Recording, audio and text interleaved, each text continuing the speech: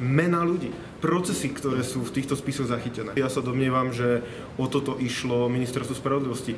Ono pravdepodobne z toho, čo odznelo, chcelo vidieť do spisov, ale to je naozaj znepokojuje, to je naozaj až kriminálny, kriminálny obrázok toho, čo sa tu deje, pokiaľ by to bolo takto. Lebo ono môže, samozrejme, ten systém, ktorý dodáva, ten elektronicky na rozdielovaný spisov kontrolovať, tam nikto nič nerozporuje, tam vieme o tom úplne v kľude rozprávať, nič by sa nedialo. Tu sú e, terabajty informácií, ktoré podľa všetkého chceli odniesť. A toto je, toto je problém. Ja som bol pol roka štátnym tajomníkom na ministerstve spravodlivosti.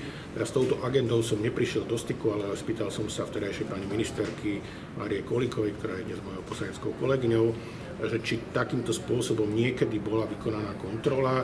Je odpovedie, že nie, že takýmto spôsobom sa kontrola nevykonáva v takomto rozsahu, že by žiadali vlastne všetky informácie od nejakého roku. Ak sú podozrenia, že došlo k porušeniu náhodného pridelovania spisov, tak sa má žiadať e, kontrola tých prípadov, ktorých sa tie podozrenia týkajú, prípadne nejakých súvisiacich, e, časovo súvisiacich, ktoré sú nevyhnutné na to, aby sa preverilo, či došlo k nejakému zásahu do systému náhodného pre, e, pre, pridelovania spisov.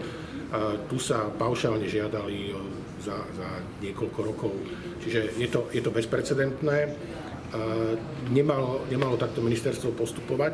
Ale čo je z nášho pohľadu väčší problém je, že vládna koalícia systematicky znemožňuje, aby si výbory plnili kontrolnú e, funkciu.